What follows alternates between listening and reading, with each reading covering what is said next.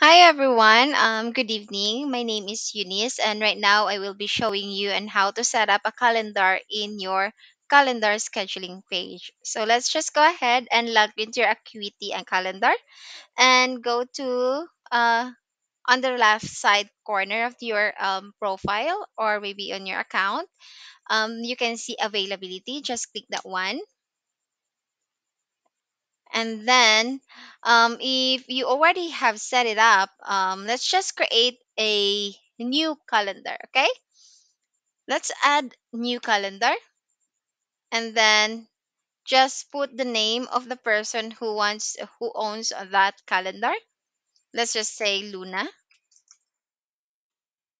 And then let's just put uh, a description a brief description for this um, calendar so that your client prospect clients and other colleagues will be able to check uh, what kind of services does luna give or provide okay?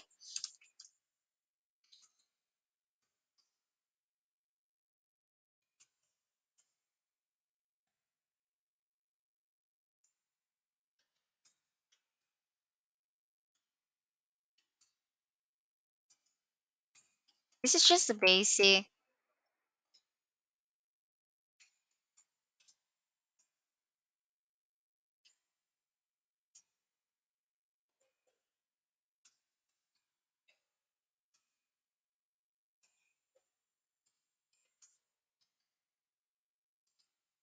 and then it's up to you if you're going to add a location for it but it, it doesn't really matter.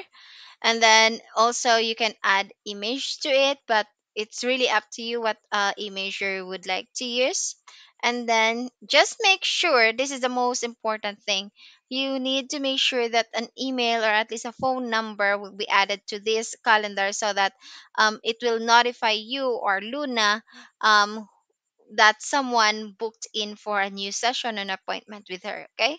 Let's just use uh, my email and then and make sure that the, re- the replies will be uh, sent to the same email as well or maybe to the company email. And then hit save.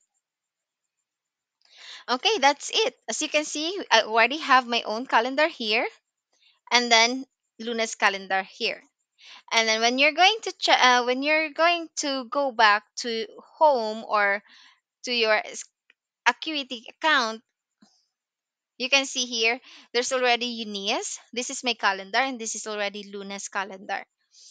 And I think that's it, and I'm gonna see you in the next video.